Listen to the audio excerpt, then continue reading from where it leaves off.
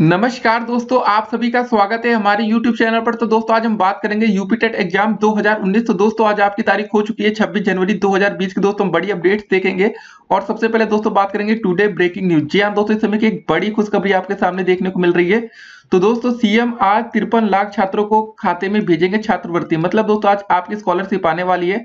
तो दोस्तों, आज सुबह की सबसे बड़ी खुशखबरी अपने दोस्तों के साथ आप इसको शेयर करके बता सकते हैं कि आज उनके समय, दोस्तों, किसी भी समय उनके पास स्कॉलरशिप या छात्रवृत्ति आ सकती है। दोस्तों, अगर आपने किसी भी एग्ज़ाम या कुछ भी दोस्तों आप तैयारी कर रहे हो मतलब कहीं भी पढ़ रहे हो तो दोस्तों, आज आपके पास खाते में पैसे आने वाले हैं। तो सुबह की दोस्तों, सबसे बड़ी खुशखबरी है। तो दोस्तों, इसके अपडेट्स भी हम आपको न्यूज़पेपर के माध्यम से भी दिखाएँगे। देखिए कि सीएम आज आपके तिरपन लाख छात्रों के खाते में भेजेंगे छात्रवृत्ति। तो दोस्तों, ये सबसे बड़ी अपडेट है आज 26 जनवरी 2020 की। तो सबसे पहले दोस्तों, आज आपको पता आपका गणतंत्र दिवस है। तो दो लाइनें दोस्तों, उसके लिए हो जाए। देखिए, तैरना है तो समुन्द्र में तैरो, नदी नालों में क्या रखा है? प्यार करना है तो वतन से करो, बेवफा लोगों में क्या रखा है? तो सभी छात्रों को गणतंत्र दिवस की ढेर सारी शुभकामनाएँ। तो अब दोस्तों चलिए आज की सारी अपडेट्स अब एक करके देखेंगे कि आपका आयोग किन किन प्रश्नों पर आपके नंबर बढ़ा सकता है। और दोस्तों इस वीडियो में देखेंगे कितने प्रश्न है, सभी प्रश्नों की पूरी लिस्ट यहाँ देखी जाएगी कि ऐसे कौन कौन से प्रश्न दोस्तों बन रहे जिस पर आपका आयोग नंबर बढ़ा सकता है। जी हाँ दोस्तों, देखिए, एक और दोस्तों बड़ी अपडेट निकल कर आ रही है कि दोस्तों अब आयोग किसी भी समय जारी कर सकता है कि गलत प्रश्नों पर कितने नंबर बड़े हैं। देखिए दोस्तों आपके ऑफिशियल जो आंसर की जारी होगी वो तो इकतीस जनवरी को ही जारी होगी दोस्तों, इसमें कोई दो राय नहीं है। लेकिन दोस्तों, होता क्या ना कि न्यूज़पेपर और दोस्तों, हर जगह से आपकी जो खबरें आती हैं, वो पहले आ जाती हैं। तो मतलब कुछ तो दोस्तों, यहाँ पर न्यूज़ मीडिया का रोल होना चाहिए ना, कि आपको थोड़ी सी पहले अपडेट्स दोस्तों प्राप्त हो सके। तो हाँ तो अब दोस्तों, किसी भी समय, अब दोस्तों, ये क्लियर हो सकता है कि कौन कौन से ऐसे प्रश्न बने दोस्तों, जिस पर आपके आयोग नंबर बढ़ाने वाला है। एक और बड़ी दोस्तों अपडेट आपके सामने असिस्टेंट प्रोफेसर के 3,500 पदों पर भर्ती नए आयोग के गठन के इंतज़ार में फता है अधियाचन। और एक और दोस्तों अपडेट की मोबाइल ऐप से जनगणना बनेगा एनपीआर मोबाइल ऐप के ज़रिए पूछे जाएँगे इकतीस प्रश्न। तो दोस्तों इस समय एनपीआर सी डबल ए इसको लेकर काफ़ी ज़्यादा चर्चाएँ हो रही है। तो दोस्तों इसको अभी देखेंगे कि ये आखिर है क्या। जी हाँ दोस्तों सभी बच्चों के मन में ये डाउट आ रहा होगा सी डबल ए एनपीआर इससे होगा क्या। ठीक है ना?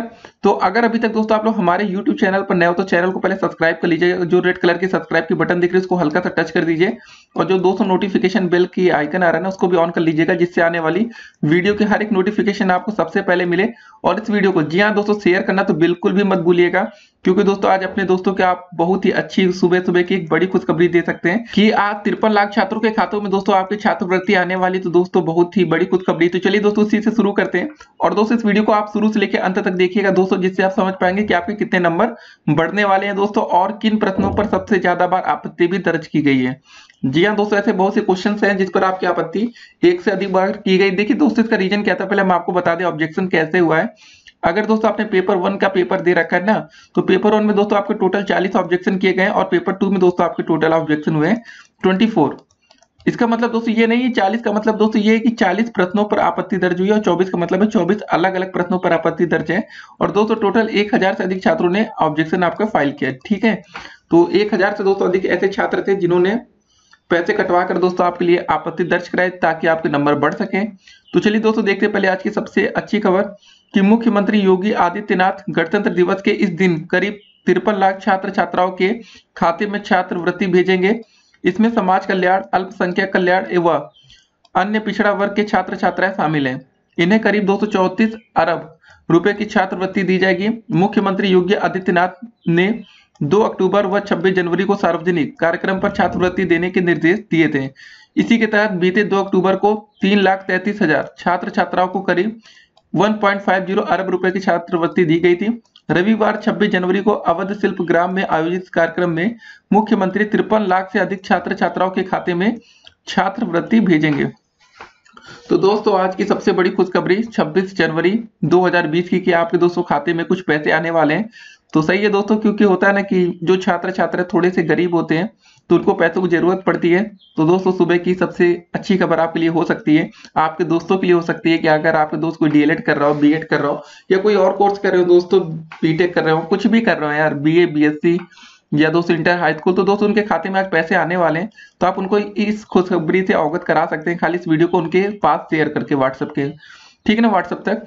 अब दोस्तों, चलिए इस वीडियो में देखेंगे कि आपके ऐसे कौन कौन से प्रश्न बनेंगे दोस्तों, जिस पर आपके नंबर बढ़ा दिए जाएँगे। देखिए, अब इस समय दोस्तों, ये बातें क्यों चल रही है कि पहले किन किन प्रश्नों पर आपके नंबर बढ़ सकते हैं? दोस्तों, इसका रीजन ये है ना कि काफ़ी दोस्तों, ऐसे स्टूडेंट्स बन रहे हैं जो दो तीन नंबर से उनका रुक रहा है। जी हाँ दोस्तों, देखिए, अगर आपको पहले हम बताते हैं, अगर आप जनरल कैटेगरी के छात्र हैं जनरल हो या जनरल में दोस्तों ईडब्ल्यू एस भी आते हो इकोनॉमी वीकर सेक्शन तो आपके लिए पासिंग मार्क आपके नब्बे नंबर ही होगा। उसके बाद दोस्तों, अगर आप लोग ओबीसी से आते हैं आरक्षित वर्ग एससी से आते हैं एसटी से आते हैं तो दोस्तों आपको पास होने के लिए बयासी नंबर चाहिए होंगे।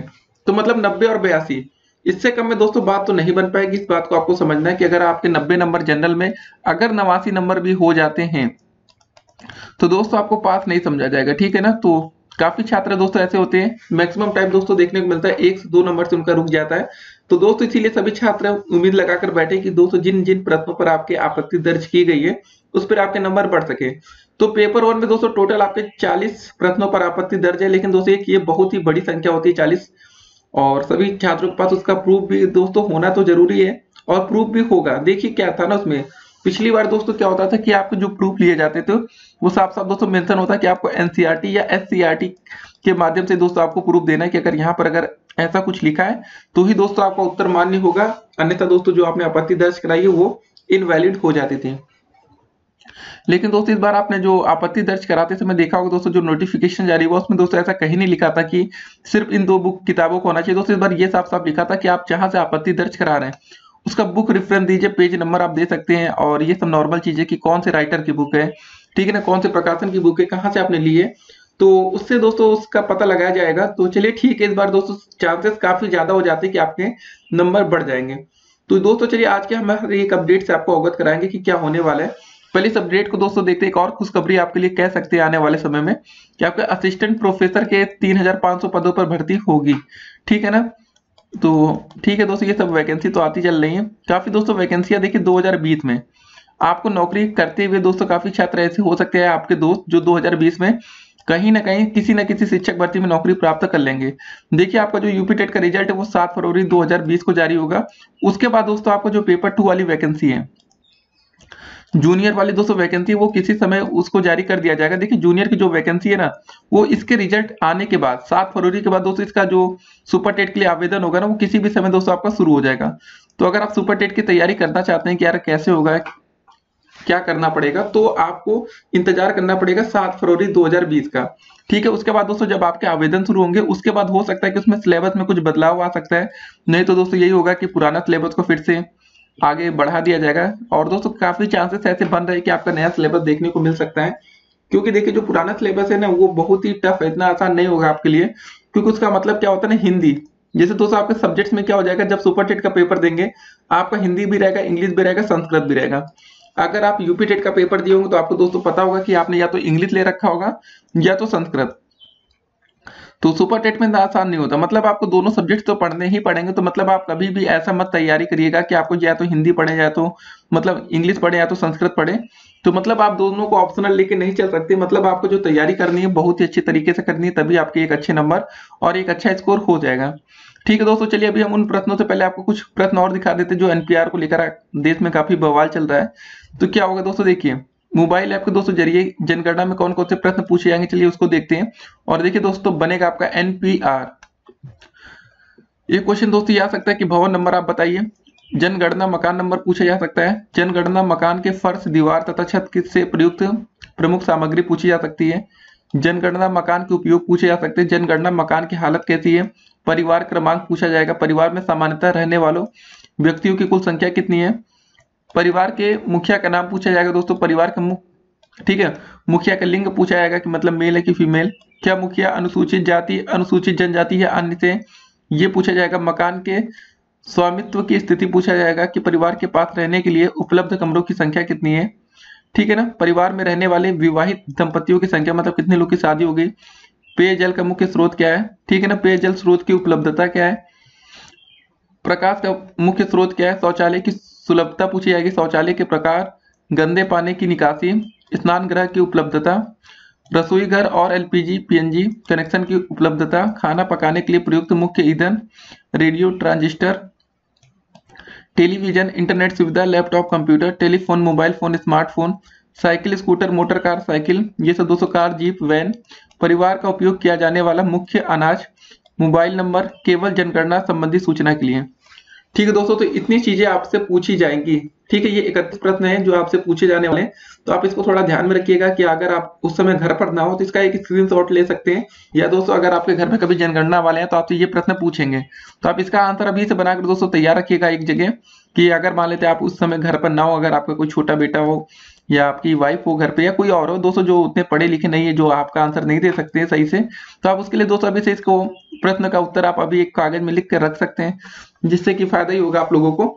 अब दोस्तों चलिए देखते हैं कि आपके ऐसे कौन कौन से प्रश्न जिस पर आपत्ति दर्ज कराई गई है और सबसे ज़्यादा उम्मीद बन रही कि उन प्रश्नों पर आपके नंबर बढ़ा दिए जाएँगे। तो चलिए दोस्तों देखते हैं। तो दोस्तों सबसे पहला प्रश्न ये बन सकता है कि भारत में थारू जनजाति कहाँ निवास करती है? ठीक है दोस्तों तो इसका आंसर आपका जो पीएनपी ने माना है, उसका फ़िलहाल विकल्प नंबर एक कि उत्तर प्रदेश के तराई क्षेत्र में लेकिन दोस्तों, इसका आंसर उत्तराखंड में भी दिया गया है। देखिए दोस्तों, घटना चक्र का उत्तर क्या है, उसको जरा दिखाते हैं आपको। Statistical profile of schedule tribe in India 2013 के आधार पर जनगणना 2011 में प्रदर्शित। आंकड़ों के तहत भारत में थारू जनजाति उत्तर प्रदेश, उत्तराखंड तथा बिहार राज्य में निवास करती है। बिहार में थारू जनजाति की कुल संख्या दोस्तों आपकी एक लाख उनसठ हज़ार नौ सौ उनतालीस व उत्तर प्रदेश में एक लाख पाँच हज़ार दो सौ इक्यानवे, जबकि उत्तराखंड में थारू जनजाति की कुल जनसंख्या आपकी दो सौ इक्यानवे हज़ार तीन सौ बयालीस है। अतः विकल्प एक तथा दो दोनों सही होंगे। तो दोस्तों, ये तो बात बिल्कुल श्योर हो जाती है कि दोस्तों, आपको इसमें एक नंबर तो आपको मिलने वाला है। ठीक है, अगर आपने उत्तर प्रदेश टिक किया तो आपको एक नंबर बन गए, उत्तराखंड टिक किया दोस्तों तो भी आपके एक नंबर बन गए। देखिए, होता क्या ना, जब किसी किताब से आप पढ़कर जाते मान लेते आप इसी किताब से पेपर में गए पढ़ने, ठीक है ना?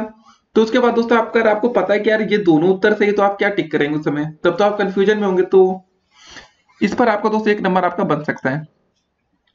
एक और प्रश्न दोस्तों आपका था कि अनुच्छेद तीन तो छप्पन का प्रथम प्रयोग कब और कहा हुआ है? बहुत ही अच्छा प्रश्न है दोस्तों, जिसका आंसर आपका फ़िलहाल पीएनपी ने जो सही आंसर माना वो केरल उन्नीस सौ उनसठ में।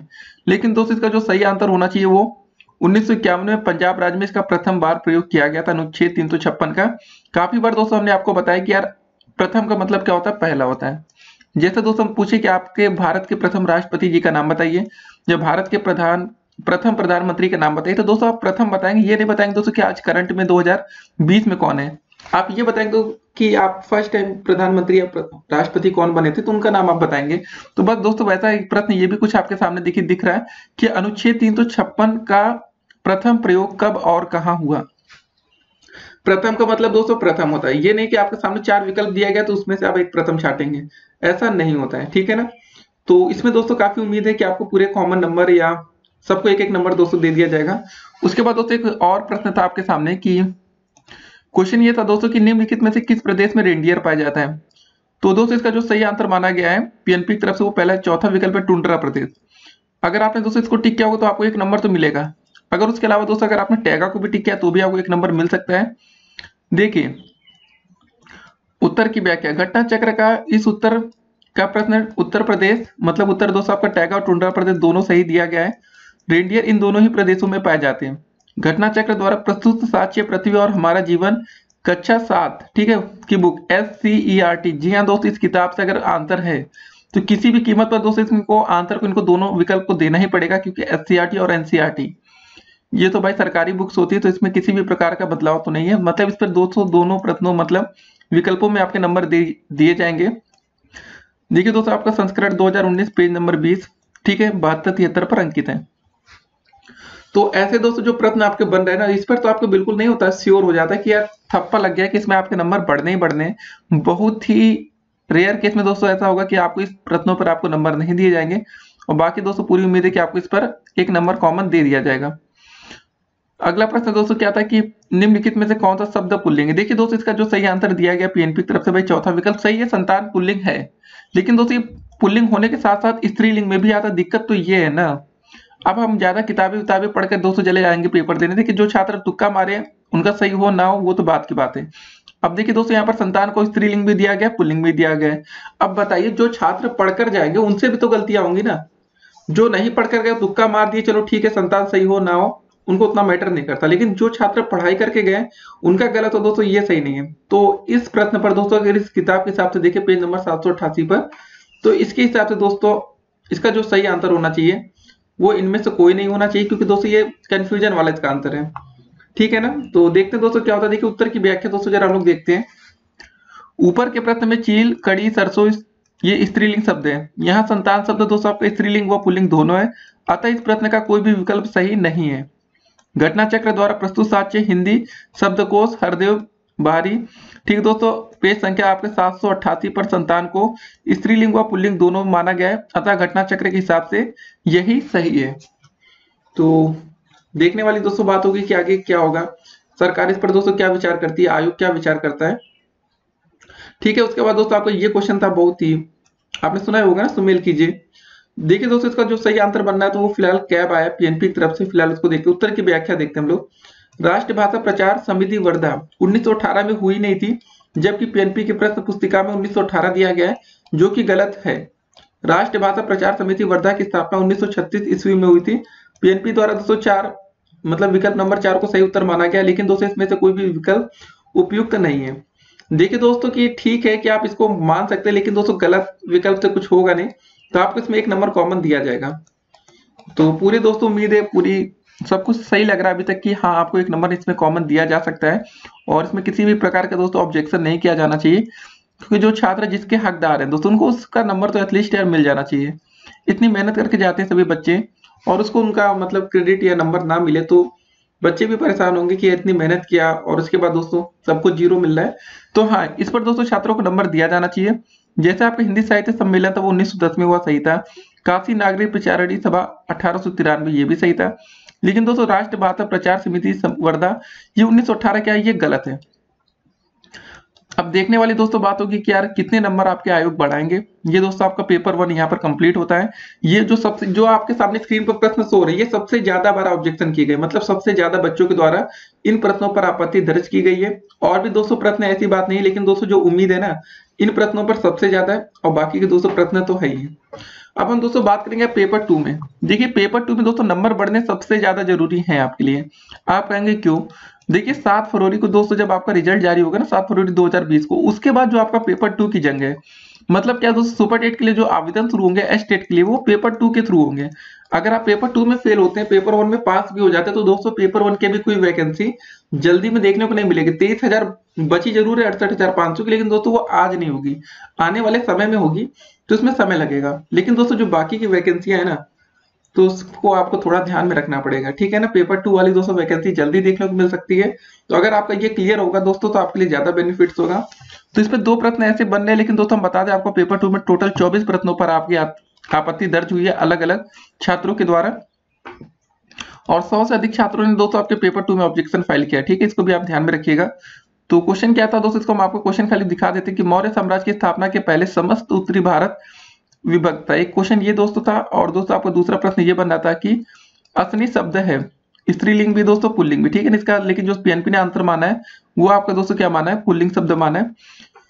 तो ये सब दोस्तों देखिए आपके सामने भाई, सब लोग हम लोग साक्ष्य भी रखें अब पीएनपी को डिसाइड करना है कि आखिर क्या होगा, कैसे होगा। तो चलिए ठीक है दोस्तों कल मिलते हैं अगली वीडियो में, तब तक के लिए स्टे कनेक्टेड अगर अभी तक आप लोग हमारे चैनल पर नए हो तो रेड कलर वाली जो सब्सक्राइब वाली बटन है, दोस्तों, उसको जल्दी से टच कर दीजिए। और दोस्तों, जो आयोग की तरफ़ से सबसे पहले नोटिफिकेशन आएगी, वो दोस्तों कमेंट बॉक्स में आपको एक लिंक दे रहे हैं। उस लिंक पर दोस्तों आप जाकर चेक करते रहिए, क्योंकि सबसे पहले दोस्तों आपके जो रियल आंसर है ना, बिल्कुल सही वाले। वहीं पर अपडेट होंगे। फिर मिलते हैं स्टे कनेक्टेड सभी छात्रों को ऑल द बेस्ट और ठीक है, पहले अपने दोस्तों को खुशखबरी दीजिए कि आज उनके पास पैसे आने वाले। फिर मिलते हैं स्टे कनेक्टेड